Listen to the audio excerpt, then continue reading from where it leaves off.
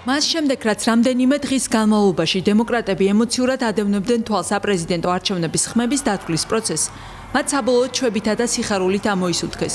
როცა 7 ნოემბერს მედია საშუალებებმა ბაიდენი ამ რბოლაში გამარჯვებულად გამოაცხადეს. ამერიკის შეერთებული შტატების პოლიტიკურ მწვერვალზე ჯო ბაიდენის ასვლა არ იყო ისეთივე კონტრასტული, როგორც ეს მისი წინამორბედების შემთხვევაში იყო. ბაიდენი თავისი პოლიტიკური პარტიის რიგებიდან თავდაჯერებულად და ნაბიჯ-ნაბიჯ აღზევდა. მისი პოლიტიკური კარიერა პენსილვანიის ქალაქ სკრენტონიდან დაიწყო. იგი გახდა ქვეყნის ერთ-ერთი ყველაზე ახალგაზრდა სენატორი, როდესაც ყველასგან მოულოდნელად 1972 წლის არჩევნებში გაიმარჯვა.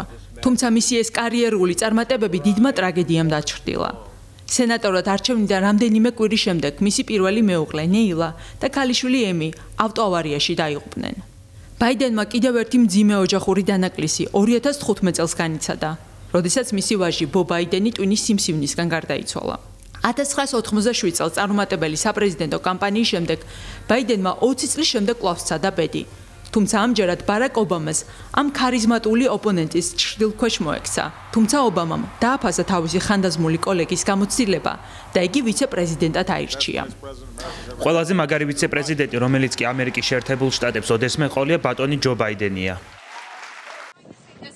ბაიდენმა საპრეზიდენტო რბოლაში ბედი 2020 წელს კვლავ სცადა.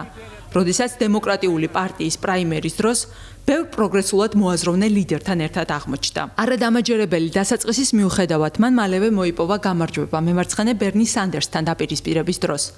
ბერნი მისი მთავარი მეტოქე იყო. მისი პარტია ჯერ კიდევ ორად იყო გაყოფილი, როცა ბაიდენმა საპრეზიდენტო კამპანია დაიწყო. იგი მალევე აღმოჩნდა დონალდ ტრამპის ბანაკის ამისნე. ისინი ბაიდენს კორუფციაში სტებდნენ ბრალს. ეს ბრალდებები მისი შვილის უკრაინაში ბიზნეს საქმიანობას უკავშირდებოდა. ეს მხოლოდ ერთი ნაწილი იყო ბაიდენის წინააღმდეგ მიმართული მრავალრიცხოვანი თავდასხმებიდან. პრეზიდენტ ტრამპის გუნდი ასევე ცდილობდა ბაიდენი როგორც გონებრივად შეზღუდული ისე დაენახა ხალხს. მე ვერ გეტყვით რა შეიძლება მოხდეს.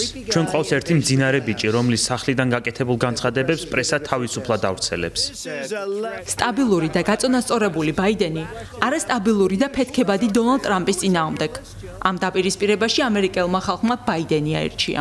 მაგრამ არა ყველამ. და ამიტომაც ბაიდენის ყველაზე დიდი გამოწვევა პრეზიდენტ ტრამპის პერიოდში გახლეჩილი ქვეყნის გაერთიანება იქნება. ქვეყნისა, რომელშიც ბევრ ადამიანს მისი ლიდერობის სურვილი არ აქვს.